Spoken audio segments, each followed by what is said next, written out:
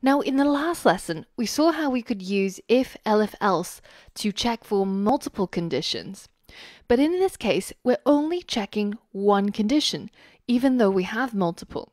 Because if this first condition is true, then we would do whatever it is we need to do, and then we would bypass everything else.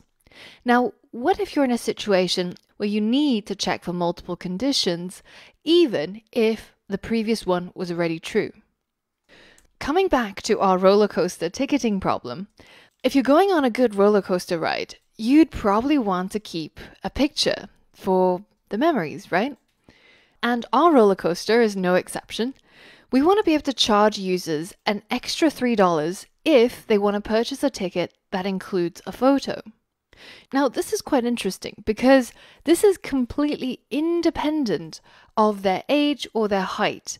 Even if we've already gotten their age and height and determined their ticket price, this is an extra question. Do you want a photo or not? Yes or no?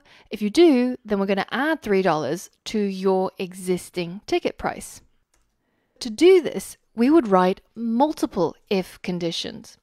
If condition 1 is true, then do A, but then the code is going to go to the next case and check if condition 2 is also true, in which case it will do B, and if the final condition is also true, it's going to do C.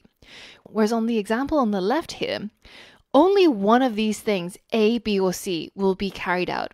Comparing the example on the left, where we're using if, elif, else, only one of these things, A, B, or C, will be carried out.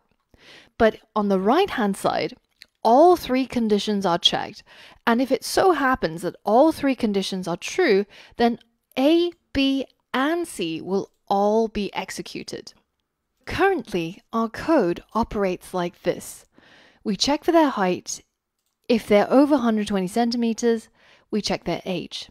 And depending on their age, we give them a different price ticket. What we now want is, even after we've checked for their ticket price, we want to ask them a question. Do you want photos with your ticket? And if the answer is yes, then we're going to add $3 to their bill, no matter which type of ticket they've got. And finally, we give them the total bill. If they say no, then we jump straight to the total bill and just tell them the price of their ticket. So how do we implement this in our code? Well, first, let's change these print statements. Instead of giving them the bill at each of these steps, I'm going to tell them which type of ticket they're eligible for. So the next thing to do is to ask them whether if they want a photo or not. So I'm going to need to use an input. But the question is, where do I put that? Now, the correct answer is that it has to be at the same indentation level as this if block. So you can imagine this whole thing with the if, elif, and else as sort of belonging together because they all relate to one thing.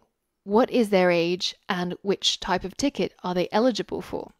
Now, outside of that if statement, I'm going to create an input and ask the user do you want a photo taken? Type Y for yes or N for no. And then I'm going to save their input inside a variable called wants photo. So now I'm going to use an if statement to check what their answer was. If it was true, then I'm going to add $3, and if it was false, I'm just going to skip to giving them their ticket price. So here is where I write my if statement. Notice how it's at the same indentation level as this previous set of if statements, but it's not at the same indentation level as this set of if statement. So essentially what's happening is once I've checked their age, then I'm going to check whether if they want a photo or not. And this is going to apply to everybody, no matter their age. So if wants photo is equal to y, well, in this case, I'm going to go and add $3 to their bill. But how can I add $3 to the bill when I don't have a variable to vary? So instead of using these print statements, I'm going to create a variable up here called bill, and I'm going to set it to equal zero. Now, in addition to printing to the user how much their ticket is, I'm going to set the bill to the price that they're supposed to pay. So if age is less than 12, bill is equal to 5. If age is less than 18, then bill is equal to 7. And finally, for everybody else, the bill is equal to 12. So now, depending on these conditions, the variable bill is going to be changed to a different number. But once we land in this if statement, I'm going to have to add $3 to their bill, no matter which value it is at the moment. So effectively, what I want to do is bill equals the current value of bill plus 3. So if bill was 7, then this new value of bill should be 10. If bill was 12, then it should now be 15. Now, in Python, as well as many other languages, there's actually a slightly shorter way of writing this. When you want to increase the current value that's held in a variable and you want to save it back into the variable, you can simply write plus equals. So bill plus equals 3 is the same as bill equals bill plus 3. Now, no matter what the value of bill is before it reached this if statement, I'm still going to add $3 to it. Now, after this if statement is completed, I don't actually have to write a companion else statement because in this case, if the answer is no, then we're simply going to do nothing. We're not going to do anything to the bill. Instead, I'm just going to skip ahead and print to the user their final bill. And I'm going to use f strings to insert the value that the bill variable has into this print statement. Now, for your code to work, the indentation matters a huge deal because the computer will think you want it to do different things depending on the indentation.